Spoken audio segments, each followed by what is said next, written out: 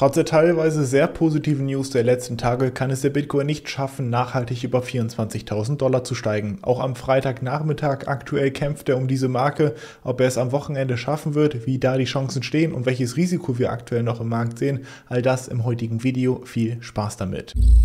Hallo und herzlich willkommen Freunde zu einem weiteren Video auf diesem Kanal. Mein Name ist Robin und heute am Freitagnachmittag bzw. für euch Freitagabend gibt es wieder interessante News rund ums Themengebiet Krypto. Zu Beginn des Videos sprechen wir erstmal über den Bitcoin an sich und hier möglicherweise der Grund, warum Bitcoin tatsächlich in den nächsten Tagen nochmal stärker abgestraft werden könnte bzw. was aktuell das Risiko darstellt. Ebenfalls reden wir allerdings auch über Ethereum, denn aktuell steht tatsächlich ein Termin für den Merge, so wie wir ebenfalls allerdings auch über Tornado Cash noch einmal reden, beziehungsweise den Mitbegründer, der jetzt tatsächlich eingebuchtet wurde, was das für Folgen hat und was das für uns vor allem auch im Punkto Dezentralität zu bedeuten hat. Schauen wir uns heute alles im Video an. Ich wünsche dir viel Spaß damit. Lass gerne eine Bewertung und einen Kommentar da, um mich und meine Arbeit zu unterstützen. Vielen Dank an alle, die tagtäglich supporten. Reden wir gar nicht lange um den heißen Brei, Freunde, sondern springen direkt auf die erste Folie. Wie im Intro schon angesprochen, kämpft der Bitcoin aktuell um die 24.000 US-Dollar Marke und scheint da nicht wirklich nachhaltig drüber klettern zu können. Zumindest hat er es die letzten letzten Tage immer wieder versucht. Ganze sieben Mal ist er angedockt, ist zeitweise darüber gestiegen, doch schafft es eben nicht wirklich nachhaltig auf Daily-Ebene über diese Marke zu klettern. Und das, obwohl wir auf der anderen Seite teilweise sehr positive Nachrichten sehen. Erst vor wenigen Tagen, ich meine, es war sogar erst gestern, habe ich darüber berichtet, dass der weltweit größte Vermögensverwalter BlackRock mit einem verwalteten Vermögen von mehr als 10 Billionen US-Dollar jetzt einen eigenen Bitcoin-Spot-Trust ins Leben ruft, wodurch gerade institutionelle Gelder hier in den Markt fließen können. Da hat der Bitcoin zwar short-term positiv darauf reagiert, genauso wie auf die relativ geringen Inflationszahlen, dennoch haben wir kein nachhaltiges Wachstum gesehen und auch zum aktuellen Zeitpunkt scheint er sich nicht wirklich durchsetzen zu können. So schrieb beispielsweise Michael Kramer, der Gründer von Mod Capital, interessanterweise haben wir eine Spitzeninflationserzählung gesehen und trotz eines Verfehlens vom CPI und PPI sehen wir jetzt steigende Zinsen. Das könnte eben ein Grund dafür sein, warum vor allem auch der Bitcoin es momentan relativ schwer hat zu steigen. Ich denke, dass dieser dieser Fakt tatsächlich mit den steigenden Zinsen primär aktuell eher passiv ist, doch definitiv dürfen wir das nicht vergessen. Im Allgemeinen haben wir eben uns gestern angeschaut, wie der Bitcoin zeitweise über diese Widerstandszone geschossen ist, doch wie wir hier sehen, hat das eben auf Daily-Ebene nicht geschafft, darüber auch die Kurse abzuschließen. Das ist nicht der erste Versuch, den der Bitcoin jetzt versucht, über diese Linie zu klettern, was beispielsweise El Capo of Crypto hier auf Twitter noch einmal dazu veranlasst hat, tatsächlich auch ein bärisches Szenario für den Bitcoin hier einzuzeichnen. Ich sage nicht, dass es so kommt, doch das vor allem sinkende Volumen in den letzten Tagen ist ein klarer Indikator dafür, dass der Bitcoin möglicherweise kurz vor einem weiteren Ausverkauf stehen könnte, beziehungsweise ich möchte es eher eine stärkere Gewinnmitnahme nennen. Aktuell sind nämlich einige Investoren sehr bullisch darauf gesetzt, dass Bitcoin die 28.000, 29.000 Dollar erreicht. Deswegen gibt es unfassbar viel und starken Hebel am Markt. Das heißt, wir müssten gar nicht unbedingt die Ausverkäufe über 16.000 Dollar sehen, um das Target von 16.000 Dollar anzugreifen. Es würde schon schon reichen, wenn wir große Liquidationen sehen, weil die Trader und Investoren vielleicht zu frühzeitig hier tatsächlich auf bullische Kurse gesetzt haben. Ob es wirklich so kommt, weiß man nicht. Aktuell lanciert der Bitcoin ziemlich genau zwischen seiner 200er Weekly Moving Average Linie, die uns hier in den vergangenen Bärenmärkten immer als Unterstützung gedient hat und eben dem Niveau von knapp 24.000 US-Dollar, wo er Stück für Stück versucht, darüber zu steigen. Das könnte jetzt am Wochenende gelingen, denn tendenziell haben wir am Wochenende sowieso geringere Liquidität, dadurch eine stärkere Marktmanipulation Marktmanipulation. Das könnte natürlich die Marktmanipulateuren dazu verleiten, hier tatsächlich den Bitcoin über die Marke von 24.000 Dollar zu drücken, damit das Vertrauen gerade auch zu Wochenbeginn der nächsten Woche wieder da ist und dann die Kurse nachhaltiger wieder steigen. Das wäre zumindest ein mögliches Szenario, ein etwas entgegengesetztes Szenario zu dem von 16.000 US-Dollar, welches El Capo of Crypto hier auf Twitter vorgeschlagen hat. Zudem dürfen wir allerdings nicht vergessen, dass durch die teilweise sehr stark steigenden Kurse in den letzten Wochen auch wieder Bitcoins an die Börsen geschickt wurden. Im Allgemeinen wurden knapp 61.000 Bitcoins an die Börsen geschickt innerhalb der letzten 30 Tage. Das sind fast 1,45 Milliarden US-Dollar, die hier tatsächlich jetzt als zusätzliches tendenzielles Verkaufspotenzial in den Markt geflossen sind, beziehungsweise eben an die Börsen. Dabei dürfen wir natürlich auch nicht vergessen, dass wir momentan mega die Ungewissheit haben im Markt. Wir sehen unzählige Unternehmen, Unternehmen, die möglicherweise kurz vor oder in der Insolvenz stehen.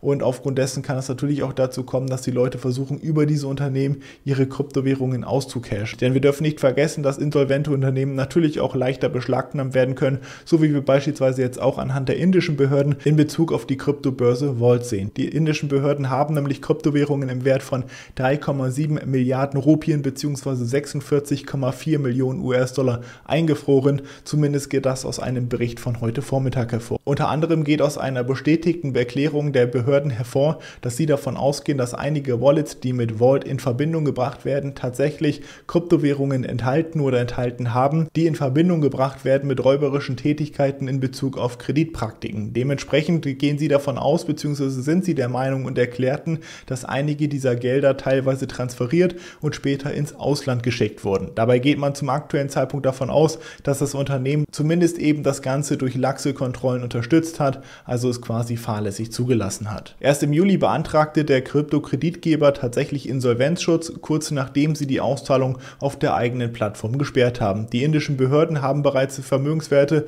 von der Börse Vaxir Z eingefroren und das Eigentum ihrer Direktorin untersucht. Dementsprechend ist davon auszugehen, dass die Behörden momentan echt wachsam sind, was das Thema Geldwäsche angeht. Unter anderem aufgrund dessen wurde ja auch erst zu Beginn der Woche der Kryptoservice Tornado Cash vom Netz genommen. Nun hat die niederländische Finanzkriminalbehörde kurz FIDO am Mittwoch in Amsterdam einen 29-jährigen Mitentwickler bzw. mutmaßlichen Mitentwickler wegen der angeblichen Beteiligung an Geldwäsche durch den Kryptomixer Tornado Cash festgenommen. Man geht also davon aus, dass wenn es sich hierbei um einen Entwickler handelt, dass dieser dann auch gleichzeitig mutmaßlich eben diese Geldwäsche unterstützt hat. Das Team sagte, dass sie bereits ab Juni die Plattform Tornado Cash untersucht haben und die Ermittlungen aktuell von der Staatsanwaltschaft geführt werden. Zudem sagten sie, Mehrfachverhaftungen sind nicht ausgeschlossen und fügten dem Ganzen noch hinzu, dass der männliche Verdächtige bereits einem Richter vorgeführt wird. Anfang der Woche sanktionierten die Vereinigten Staaten ja den Kryptomixer Tornado Cash, der erst 2019 seinen Dienst aufgenommen hat. Seitdem wurden angeblich insgesamt 7 Milliarden US-Dollar gewaschen,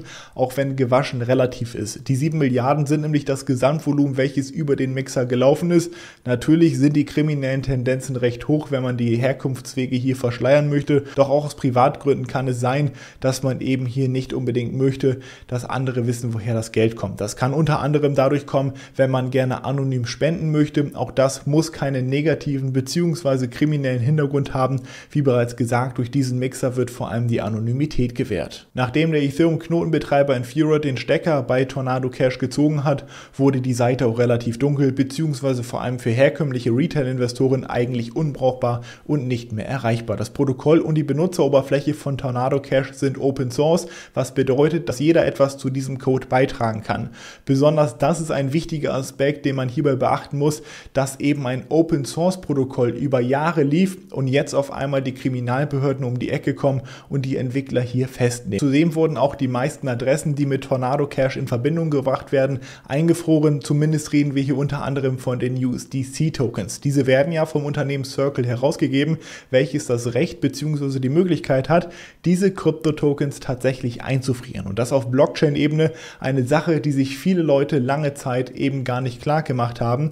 Denn Circle kann tatsächlich verhindern, dass du aus deiner Wallet USDC-Tokens verwenden kannst. Das ist für uns Retail-Investoren vielleicht jetzt gar nicht so interessant, hat allerdings wirklich einen maßgeblichen Einfluss auf den gesamten Krypto- und DeFi-Markt. Zwar wurden in erster Instanz mehr oder weniger nur 35 Ethereum-Adressen hier tatsächlich auf die schwarze Liste gesetzt und insgesamt 70.000 US-Dollar eingefroren, doch die Tendenz bzw. Möglichkeiten sind natürlich deutlich größer. Damit hat das Finanzministerium vor allem den ersten großen Schritt gewagt, dass auch weitere sanktionierte Protokolle möglicherweise durch solche Maßnahmen ziemlich unter Druck geraten können. Unter anderem aufgrund dessen hat der Mitbegründer des DAO-Protokolls, Rune Christensen, auf dem Discord tatsächlich die Möglichkeit geäußert, all ihre USDC-Tokens in ETH umzuwandeln. Das klingt in erster Instanz jetzt ein bisschen verrückt. An dieser Stelle möchte ich einfach mal ganz kurz darüber sprechen, warum das Ganze hier so wichtig und interessant ist. Also, Punkt Nummer eins. Wir haben jetzt gelernt, USDC, und das war im Vorfeld schon klar, doch man wusste eben nicht, dass die sich so der Behörden fügen werden.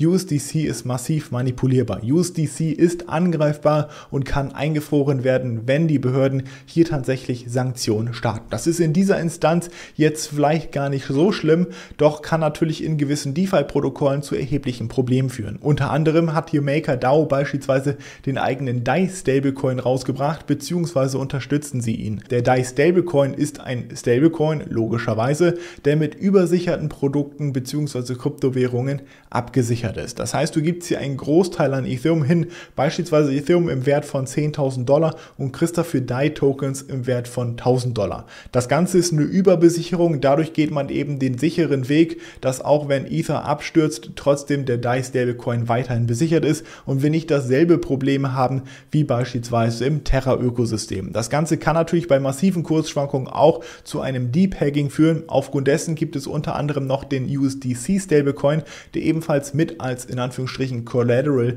ermöglicht wurde. Dementsprechend konnte man auch USDC gegen DAI tauschen, beziehungsweise hier tatsächlich sogar vom Arbitrage profitieren, wie ich euch gleich einmal beschreiben möchte. Im offiziellen Discord-Kanal von MakerDAO sagte Christensen vor allem, dass die Folgen der Tornado Cash-Sanktionen zunächst schwerwiegender als gedacht seien. Auch wenn es DAI höchstwahrscheinlich vom US-Dollar abkoppeln würde, überlegt er eben, die Reserven in USDC jetzt in ETH umzutauschen. Er hat das Ganze hier YOLO USDC in ETH genannt, um eben sich vom USDC-Token zu lösen, um eben diese verdammt zentrale Instanz aus dem Protokoll zu entfernen. Hierzu sagt er unter anderem, der Markt könnte endlich anfangen, Dezentralisierung bis zu dem Punkt zu belohnen, an dem diese Risiken akzeptabel sind, weil USDC nicht mehr so selbstverständlich ist, wie es einmal war. Bei DAI handelt es sich mittlerweile um den weltweit viertgrößten Stablecoin mit einer Market Cap von ca. 7,6 Milliarden US-Dollar. Entscheidungen über das Protokoll werden nicht von einzelnen Instanzen getroffen, so wie beispielsweise bei Circle oder bei Tether, wo einzelne Unternehmen dahinter stehen. Die Entscheidungen werden hier in dieser DAO, einer dezentralen autonomen Organisation, vor allem von der gesamten Community betroffen, die hier mit Anteilsbeteiligung abstimmen können. Dabei ist der Dollarwert von DAI inspiriert vom allseits bekannten Price Price Stability Pack, kurz PSG. Dabei erfordert das Prägen von DAI, so wie eben schon angesprochen, normalerweise eine Überbesicherung, vor allem wenn man hier mit volatilen Assets sich DAI minden möchte. Auf der anderen Seite ermöglicht das PSG allerdings auch USDC-Inhabern einen DAI für jeden einzelnen eingezahlten USDC zu prägen, was eine lukrative Arbitragemöglichkeit bietet, wenn der DAI über 1 Dollar steigt. Unter anderem aufgrund dessen schafft man es eben, dieses Depegging zu verhindern und kann eben über die diesen Arbitrage bzw. können eben einige Market Maker durch diesen Arbitragehandel davon profitieren und halten somit den 1 US-Dollar Wert bei Stange. Als Circle jetzt eben signalisierte, dass sie sich den Sanktionen der Vereinigten Staaten beugen würde, hat das nach Angaben des Kryptoforschers Mika Casalo von Blockworks einen hypothetischen Angriffsfaktor eröffnet. Hierzu behauptet er, wenn dieser bestimmte USDC jemals auf der Sanktionsliste steht, ist der Wert dieses USDC null. Faktisch ist das so, wenn du deine Kryptowährung Währungen bzw. deine Stablecoins nicht mehr erreichen kannst, dann sind sie in der Theorie quasi nichts mehr wert. Ich nehme an, es gibt einen Marktpreis dafür, aber theoretisch ist der Preis sehr niedrig, sodass sie einen Großteil ihrer Sicherheit verlieren. Hierbei spricht er selbstverständlich über die Reserven von MakerDAO bzw. über die Reserven des DAI Stablecoins. Aktuell wird er knapp 32% von USDC unterstützt. Sollten jetzt tatsächlich die USDC-Reserven eingefroren werden, dann würde eben auch ein Teil der Sicherheit von DAI weg wegfallen und wiederum auch die Stabilität bzw. die wirkliche Absicherung des Stablecoins. Auf der anderen Seite ist es allerdings auch Fakt, dass wenn man sich von USDC trennt, dass dann der Sicherheitsfaktor bzw. der Stabilitätsbindungsmechanismus dadurch auch abgeschafft wird. Dadurch würde der DAI früher oder später wahrscheinlich ein Depegging erleben, auch wenn das erstmal nach oben gehen würde. Dennoch würde es höchstwahrscheinlich dafür sorgen, dass der DAI Stablecoin eben nicht mehr so stabil ist. Dabei geht der MakerDAO-CEO allerdings noch einen Schritt weiter und spricht hier vor allem über Risiken in der gesamten DeFi-Branche. Denn seiner Meinung nach unterliegt jedes Protokoll, welches USDC enthält, die theoretische Kontrolle der US-Regierung, was wir vor allem in den letzten Tagen gesehen haben. Das ist dementsprechend dann nicht mehr nur noch ein Problem für MakerDAO, sondern auch für jedes DeFi-Protokoll, welches USDC verwendet. Was ist, wenn der USDC Smart Contract eines automatisierten Market Makers, das ist eigentlich der Markt, auf der Sanktionsliste landet? Also wenn hier ein Großteil des Marktes, eben welches von USDC hier bestimmt wird, tatsächlich auf der Sanktionsliste landet und nicht mehr bewegt werden kann, dann würde quasi ein Teil der Assets von einer dezentralen Plattform komplett eingefroren werden und das zeigt uns wiederum, dass DeFi vielleicht doch gar nicht so dezentral ist wie zu Beginn angedacht. Auch Vitali Buterin meldet sich zu Wort, vor allem in Bezug darauf, ob man vielleicht YOLO, den Stablecoin bzw. die USDC-Tokens des DAI-besicherten Stablecoins hier in ETH umtauschen sollte. Er sagte dazu wortwörtlich, das erscheint eine riskante und schreckliche Idee zu sein. Wenn ETH stark fällt, würde der Wert der Sicherheiten stark sinken, aber die CDPs würden nicht liquidiert, sodass das gesamte System riskieren würde, zu einer Teilreserve zu werden. Dementsprechend am Ende des Tages eigentlich nichts anderes, als was wir im Terra Luna Ökosystem gesehen haben. Vielleicht nicht ganz so katastrophal, doch es geht auf jeden Fall in diese Richtung. Schreibt mir super gerne mal eure Meinung dazu in die Kommentare. Das ist definitiv ein extrem kritischer Faktor, denn USDC ist eben der weltweit zweitgrößte Stablecoin. Auch bei Tether sind meiner Meinung nach die gleichen Möglichkeiten gegeben. Soweit ich weiß, kann auch Tether USDT Tokens einfrieren, was natürlich am Ende des Tages denselben Effekt auf die Protokolle hätte. Ob es dafür eine Möglichkeit gibt, ja, eigentlich nur durch algorithmische bzw. durch dezentrale Stablecoins, wie man das allerdings komplett dezentral aufbauen kann, das steht aktuell noch in den Sternen. Zudem darf man natürlich auch nicht vergessen, dass all diese Protokolle nur relativ dezentral sind, denn auch MakerDAO hat beispielsweise einen CEO. Natürlich werden die Entscheidungen vom Netzwerk getroffen und der CEO kann hier nicht alleine irgendwas am Protokoll ändern. Dennoch ist er ein wichtiger Player und wenn die US-Regierung beispielsweise sagt, Dezentralität ist verboten, das wollen wir nicht, ja, dann könnte das natürlich auch einen weiteren kritischen Punkt mit reinbringen, denn auch wenn ein solches Protokoll weitestgehend dezentral ist, ist es eben nicht komplett dezentral. Was vor allem als kritisch anbetrachtet wird, ist die Dezentralität von Ethereum nach dem Merge. Aufgrund dessen kommen wir jetzt mal aufs nächste Thema zu sprechen, nämlich auf den Merge in Bezug auf Ethereum 2.0, beziehungsweise ja, eigentlich genau die Thematik, über die wir die letzten Tage gesprochen haben. Vitali Buterin selber meldete sich nämlich höchstpersönlich auf Twitter erst gestern und sagte, dass tatsächlich eine Zeit gesetzt wurde, wann wir den Merge hier sehen werden. Aktuell wurde er so in die Chain reingeschrieben, dass er circa am 15. September zu erwarten ist, also in knapp einem Monat. Hierzu schreibt er allerdings kein Jahr. Ich hoffe mal, er meint damit 2022. Zudem sehen wir vor allem, dass das Interesse an ETH in den letzten Tagen wieder stärker gewachsen zu sein scheint. Dementsprechend sehen wir vor allem auch große Wahltransaktionen, die auf der einen Seite das institutionelle Interesse repräsentieren könnten, auf der anderen Seite allerdings vor allem auch für Marktmanipulationen sorgen könnten. So sehen wir vor allem, wenn man nach dem Marktforschungsunternehmen Sentiment geht, dass vor allem Großinvestoren bzw. Wallets mit 100.000 US-Dollar oder mehr große Bewegungen getätigt haben. Diese Wahltransaktionen deuten vor allem darauf hin, dass Großinvestoren am Werk sind. Auf der einen Seite können sie den Markt massiv manipulieren, auf der anderen Seite kann es eben auch das Interesse zeigen. Zudem dürfen wir nicht vergessen, dass auch das institutionelle Interesse in den letzten Wochen und Monaten wieder stark zurückgekehrt ist. Ich habe darüber laufend berichtet. Somit kommen wir zu guter Letzt nochmal eben auf einige Plattformen zu sprechen. Unter anderem beispielsweise über das DeFi-Protokoll Curve Finance, über welches ich erst vor zwei Tagen berichtet hatte. Aus dem Protokoll wurden tatsächlich 570.000 US-Dollar entzogen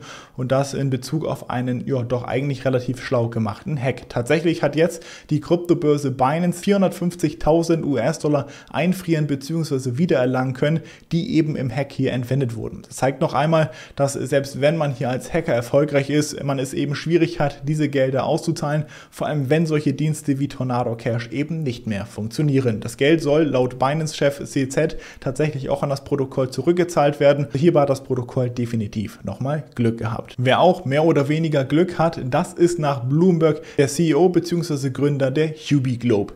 Hubi ist tatsächlich mittlerweile weltweit zweitgrößten Krypto-Handelsplattform geworden. Wie der Gründer nun offiziell bekannt gegeben hat, überlegt er eine Mehrheitsbeteiligung der Krypto-Plattform und zwar im Wert von 2 bis 3 Milliarden US-Dollar zu verkaufen. Personen, die ihnen nahestehen und Interesse daran hätten, wären zum einen, wer hätte es gedacht, FTX-Gründer Sam Bankman-Fried, aber auch beispielsweise der Tron-Gründer Justin Sun. Beide scheinen Interesse daran zu haben, eine Mehrheitsbeteiligung an der Plattform zu ergattern. Insgesamt reden wir hier von etwa 60% Unternehmensanteile. Dieser potenzielle Deal könnte dem QB-Gründer mehr als eine Milliarde US-Dollar Cash einbringen. Das wäre der größte Deal in der gesamten Kryptoindustrie und würde natürlich den Mann hier ziemlich vermögend machen, auch wenn das wahrscheinlich zum aktuellen Zeitpunkt schon ist ist. Diese Gespräche bzw. Gerüchte bestehen auch schon seit einigen Wochen, doch wurden vor allem erst vorhin ein weiteres Mal bestätigt. Wu Blockchain schrieb bereits vor ein, zwei Wochen dazu, mit einem Gewinn von mehr als eine Milliarde US-Dollar im Jahr 2021 ist Yubi nach Binance im letzten Jahr eben möglicherweise die profitabelste Börse der Welt und hält viele Compliance-Lizenzen. Aber wenn der Markt am Boden ist, kann es schwierig sein, einen höheren Wert zu verkaufen. Dementsprechend sind die Marktconditions natürlich aktuell nicht optimal, doch wenn am Ende tatsächlich eine Milliarde US-Dollar dabei rumkommen, ja, wäre es auf jeden Fall ein Verkauf wert, wenn man nicht mehr so das Interesse daran hat. Doch wo wir gerade beim potenziellen Käufer, dem FTX-Gründer Sam Bankman-Fried sind, so bleiben wir gleich bei ihm bzw. bei seiner Plattform. Sie hat nämlich jetzt eine Kooperation mit der Liquiditätsplattform Paradigm geschlossen, um den Spread-Handel zu starten und es Benutzern zu ermöglichen, Preisverschiebung mit der sogenannten Cash-and-Carry-Funktion zu nutzen. Hierbei handelt es sich um den Spread-Handel, also Spread-Trades, die am Ende des Tages nichts anderes als eine Art Arbitrage-Handel sind. Dieser nutzt Marktschwankungen aus und ist auch zu aktuell sehr bärischen Marktphasen hochprofitabel profitabel. Paradigm-Nutzer können dann in Zukunft den Spread zwischen Spot, Perpetual und Finanzinstrumenten über FTX auf Bitcoin, Ether, Solana, Avalanche, Apecoin, Dogecoin, Chainlink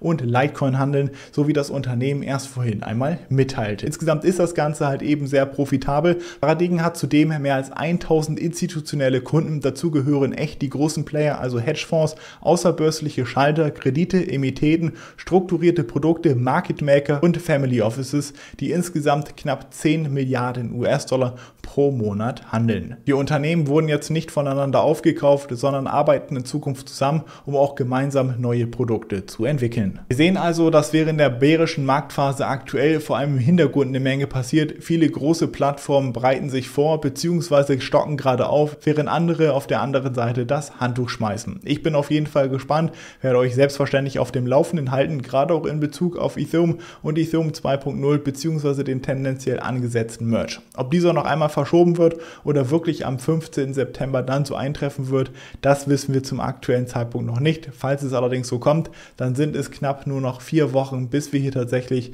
das größte Event auf Blockchain-Ebene überhaupt sehen. Ich bin gespannt, hoffe das Ganze geht gut, auch wenn ich davon ausgehe, dass wir entweder kurz zuvor oder kurz danach nochmal einen relativ stark abfallenden Kurs sehen.